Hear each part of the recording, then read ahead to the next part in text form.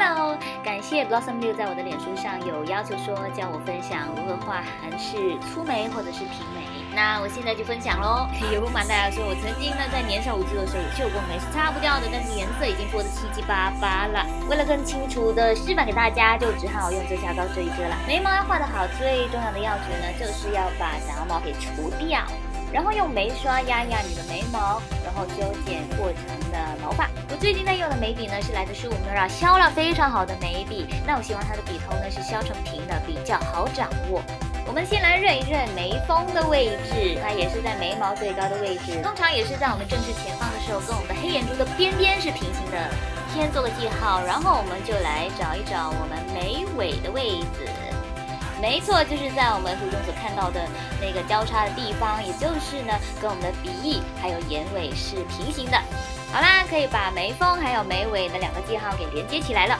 来，我们来找眉头了哈。那因为是画平眉嘛，所以呢，跟眉峰是平行的。找到了眉头了之后呢，我们就可以把所有的记号给连接起来喽。我喜欢先把我的眉尾给画好，根据毛发的方向，由上往下一直不断的填色。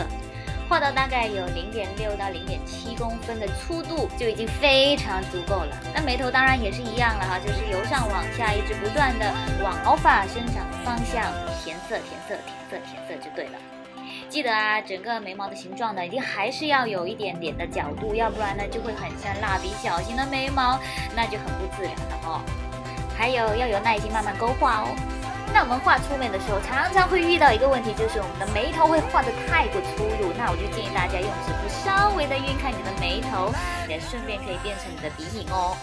满意了之后，就用你最喜欢的眉毛膏稍微的刷一刷，让整个眉形呢更加的立体。最后，如果要让整个眉形更加的突出呢，我建议大家也要提亮眉骨。呃，有两个选择，首先就是用眼影。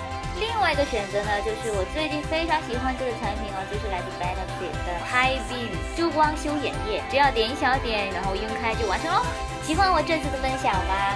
请你来跟随我的 Facebook 美俊陈美君，还有我的 Instagram at m a j u n Shines，也不要忘记订阅、赞、分享还有留言哦，谢谢你，拜拜。